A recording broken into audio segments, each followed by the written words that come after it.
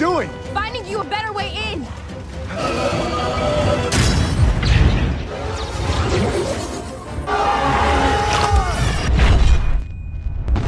Hey Sleeper, selamat datang. Kali ini aku mau bawain alur cerita dari film Moana.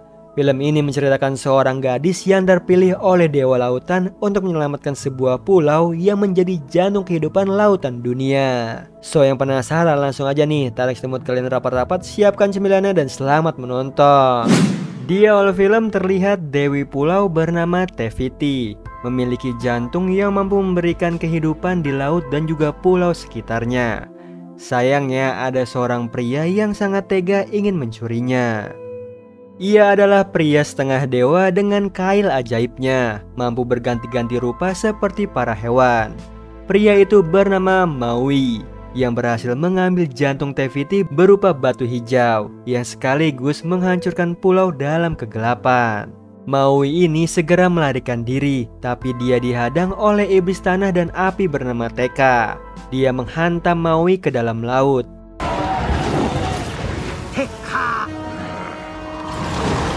Struck from the sky!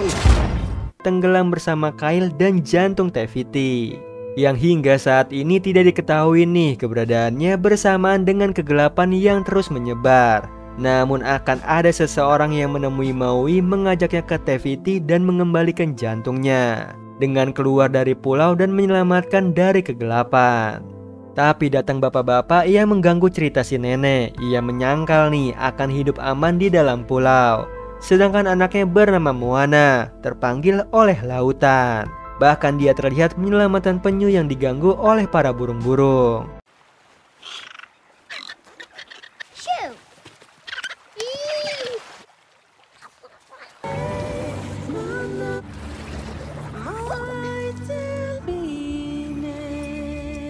Sayangnya Moana dipanggil ayahnya. Dia yang panik menjatuhkan batu Teviti. Saat ingin kembali ke pantai, ayahnya memaksa pulang ke rumah. Di mana Moana kecil sudah diajari untuk menjadi kepala desa Motunui karena dia adalah penerus sang ayah.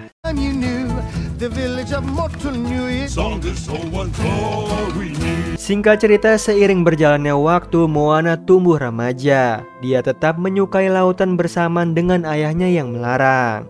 Sedangkan neneknya sangat menyukai laut, ia menari mengikuti alunan angin dan juga ombak. Yang membuat Moana bergabung, lalu si nenek memberi petuah nih untuknya dengan mengikuti kata hatinya pergi ke laut. Dan lagi-lagi ayahnya menghentikannya. Dia malah mengajak Moana ke puncak gunung Motunui yang terdapat tumpukan batu keramat yang setiap kepala desa menaruhnya sebagai pertanda menjadi orang yang dibutuhkan di desa. Tibalah waktu Moana diangkat sebagai kepala desa untuk membangun masa depan bersama penduduk, dimulai membantu permasalahan penduduk desa. It's like beneath the surface. Tusking the coconuts and There. Namun permasalahan nelayan yang gagal menjaring ikan di sekitar pulau membuat Moana memiliki ide gila dengan melaut melewati batas pulau. Seketika ayahnya menentang dengan tegas karena itu akan membahayakan penduduk. Lalu datanglah ibunya Moana menjelaskan nih kalau ayahnya trauma dengan lautan karena waktu muda ayah dan sahabatnya pergi ke laut hingga terhempas ombak. Sedihnya sahabat ayahnya tidak terselamatkan. Jadi ayahnya tidak mau hal itu terjadi dengan Moana Yang membuat Moana dilema nih menjadi anak yang baik atau mengikuti hatinya yang berada di lautan But I come back to the water. I make every road leads back. See the line where the sky meets the sea. Oh, if the oh, with me, how deep it goes.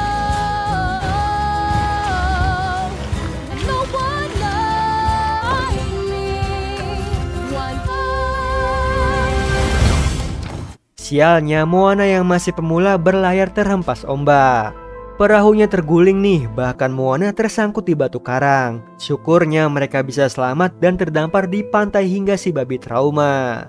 Tiba-tiba nenek Moana datang, ia memaklumi yang dialami oleh Moana, yang membuat Moana merasa aneh ditambah si nenek menari bersama ikan pari.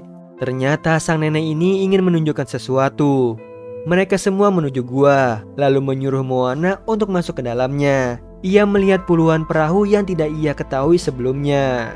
Kemudian Moana menuju ke perahu terbesar dan membunyikan lesung yang membawanya flashback nih ke leluhurnya terdahulu.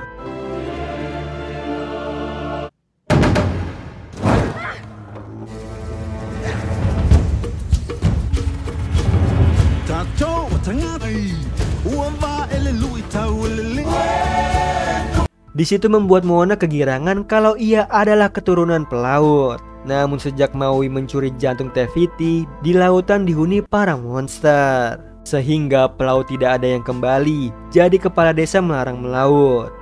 Yang membuat mereka lupa jati diri sesungguhnya, sementara kegelapan perlahan-lahan masuk ke pulau.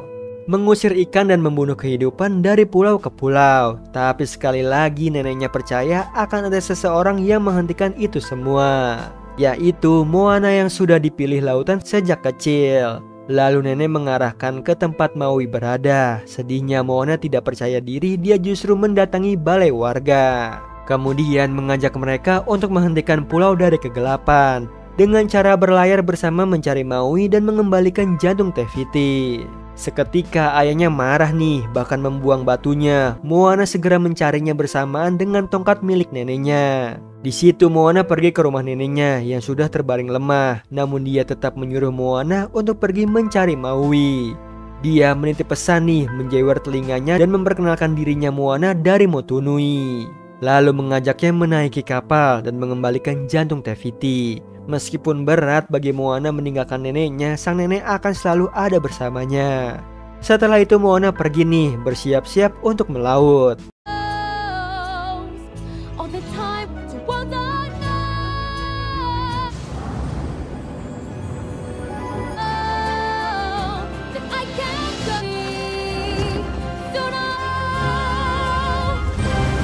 Pagi harinya, Moana berlatih dialog jika bertemu dengan Maui, yang tanpa disangkanya ada ayam yang ikut dengannya.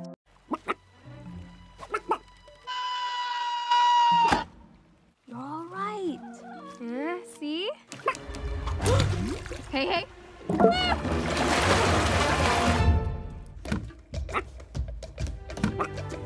Hingga malamnya, Moana tetap berlatih sampai ketiduran yang membuatnya salah arah. Lalu dia putar balik nih, sialnya perahunya juga terbalik. Dia berusaha membalikan kapalnya tapi tidak berhasil. Tak lama datanglah badai dan ombak besar membawanya tersapu ke sebuah pulau. Yang syukurnya batu Teviti baik-baik saja, lalu dia marah-marah ke lautan karena tidak ditolong. Ternyata lautan membawa ia kepada Maui. Mengetahui hal itu Moana bersembunyi. Tiba-tiba datanglah Maui mengangkat kapal dan terkejut Moana. Di mana Moana tidak menyia-nyiakan perkenalan dirinya, tapi ia selalu dipotong Maui yang membanggakan dirinya sebagai seorang pahlawan.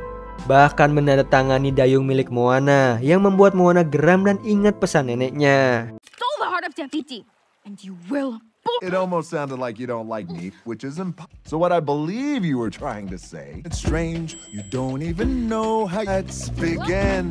Yes, it's really... Sayangnya Maui salah paham kalau kedatangan Moana ini untuk berterima kasih, lalu mengunci Moana di gua batu, mengambil ayamnya dan perahunya untuk mencari kail ajaibnya. Di sisi lain Moana menemukan jalan keluar dari gua. Dia melewati celah lubang batu dan melompat ke perahu yang dinaiki Maui. Sedihnya lompatannya meleset, ia ditinggal Maui nih. Namun datanglah pertolongan laut membawanya kembali ke perahu. Yang membuat Maui tidak menduganya, walaupun terus-terusan melempar Moana ke laut, ia akan terus kembali.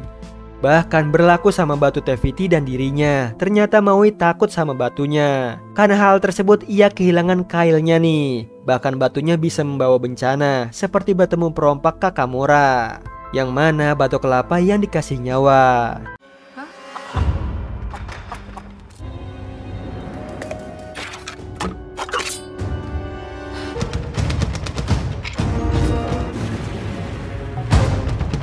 Kedatangan mereka ingin merebut batu Teviti, sayangnya justru ketelan sama si ayam. Lalu kakak Mora membawa si ayam ke perahu utama. Moana yang melihatnya mengajak Maui merebutnya kembali. Namun Maui malah membelokkan kapalnya untuk kabur, yang tandanya menyerah. Tapi tidak bagi Moana, ia melawan habis-habisan para perompak kelapa. Coconut.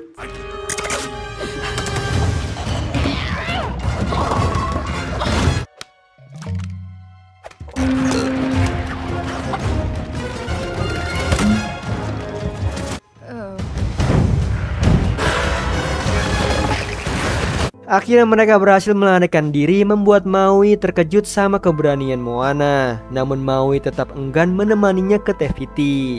Bahkan ia menakut-nakutinya akan melewati lautan kejam belum lagi bertemu dengan TK monster lava. Jadi mereka pergi hanya untuk mengambil kail Maui. Moana tidak menyerah nih, ia membujuknya dengan mengembalikan nama baik Maui yang dulu dianggap pencuri jantung Teviti. Yang mana akan berubah nih jika mengembalikan batunya dan dianggap pahlawan oleh semua orang. Di situ Maui yang terbayang dieluk-elukan tidak bisa apa-apa tanpa kailnya. Akhirnya mereka pun membuat kesepakatan mencari kailnya dahulu, lalu pergi ke Teviti. Mereka sepakat nih, lalu melanjutkan perjalanan mereka ke sarang Tamatoa. Kemudian Maui menyeting perahu ke sana, membuat Moana terpukau dan minta diajari. Tapi Maui setengah-setengah mengajarinya, bahkan sudah meremehkan Moana duluan. Not a wayfinder. You will never be a wayfinder. You... Really? Blow dart in my butt cheek. You bad person. If you can talk, Pull the sheet. Not the sheet. You're measuring the, the right way. that is disgusting! Pagi harinya Moana terbangun dan terkejut nih melihat pulau Motunui yang perlahan tertelan kegelapan bersama dengan orang tuanya. Ternyata ia sedang bermimpi.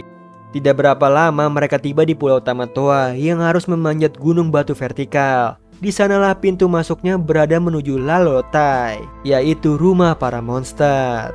Jadi Maui akan pergi sendiri dan meninggalkan Moana di perahu. Lagi-lagi Moana tidak mau, dia pun menyusul Maui memanjat gunung. Di mana Maui penasaran alasan penduduk Motunui mengutus Moana. Lalu Moana mengklarifikasi yang mengutusnya ialah lautan dengan suatu alasan. Tanpa terasa Moana sudah di puncak gunung Tamatoa yang tidak terlihat pintu masuknya. Tiba-tiba Maui menghentakkan kakinya dan terbuka gerbang menuju Lalotai. The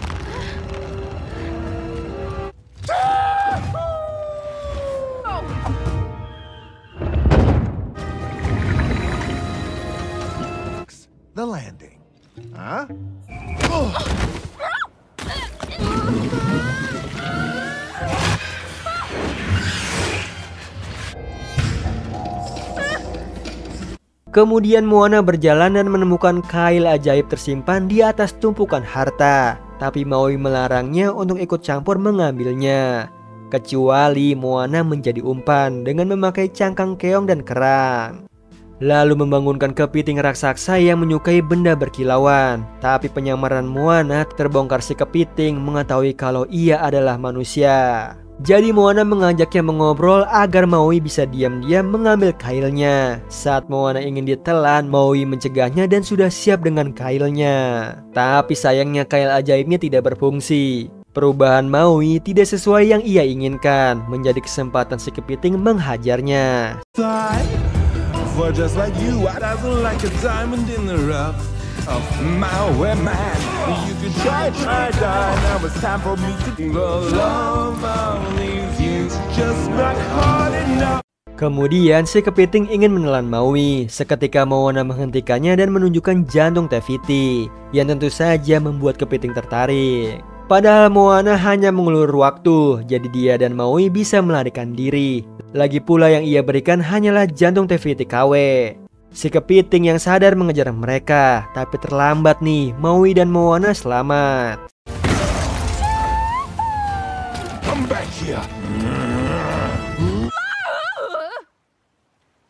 I'm sorry. I'm trying to be sincere for one. Ah, sharkhead.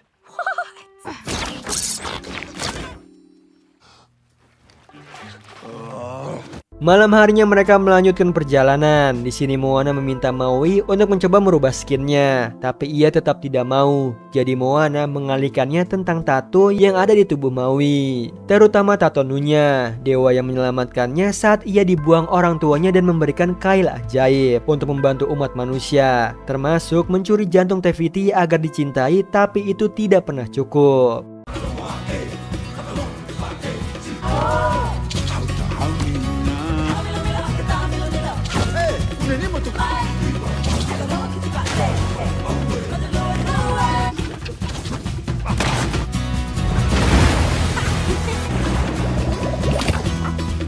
Singkat cerita, Maui dan juga Moana tiba di Pulau Teviti. Lalu Moana menyerahkan batunya supaya Maui terbang mendekati ke Teviti. Yang tiba-tiba ia dilempar bola api dari Teka. Ia berhasil lolos nih, tapi tidak dengan hantamannya, yang membuat Maui oleng dan terhempas ke lautan.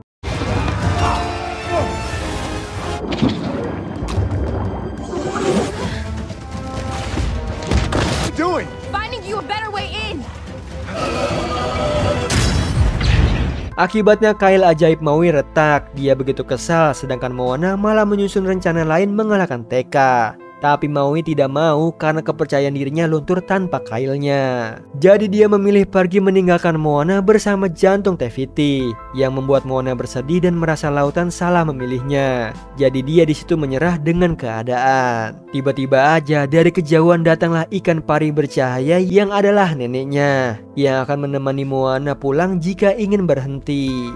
Namun Moana justru ragu seketika ia melihat cahaya leluhurnya dan dukungan dari neneknya yang membuat ia teguh kembali untuk menyelesaikannya. Father,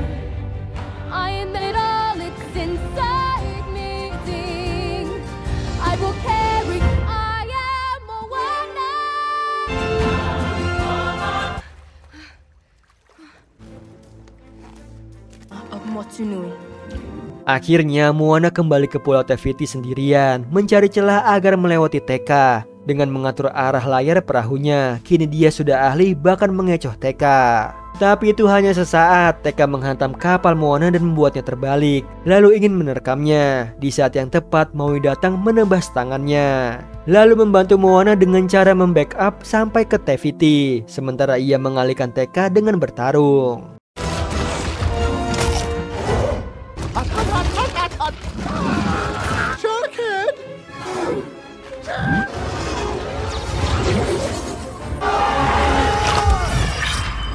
Tibalah Moana di atas puncak gunung. Dia tidak menemukan Pulau Teviti, tapi dia menemukan spiral di dada Teka, lalu memancingnya dengan batu yang bercahaya. Seketika Teka terpukau, lalu Moana meminta lautan untuk membukakan jalan untuknya. Let her come to me.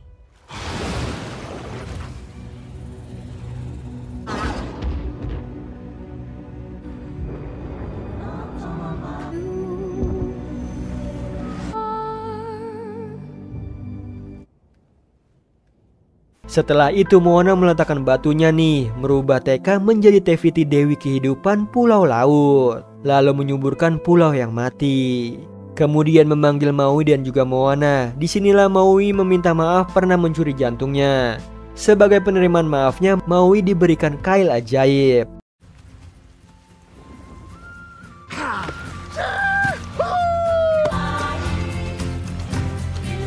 Sedangkan Moana diberikan perahu baru setelah itu Teviti kembali ke mode pulau. Lalu Maui dan juga Moana berpisah. Moana kembali ke desanya disambut dengan orang tuanya yang bahagia dirinya telah kembali. Di akhir film, Moana dan juga seluruh penduduk Motunui bergotong royong mengeluarkan perahu. Mereka kembali berlayar seperti leluhurnya terdahulu. Stories of our elders, a brand new island everywhere. We were ending. Nah itu tadi alur cerita dari film Moana Gimana Sleeper? Seru banget kan perjuangan Moana demi menyelamatkan lautan dari kepunahan Oh iya Sleeper, kalian bisa follow nih Instagram kita di @temantidur.ytb atau @handyalfat. So Sleeper, itu tadi video kita kali ini. Semoga kalian suka sama videonya. Aku Hendy pamit. Happy nice dream and ciao.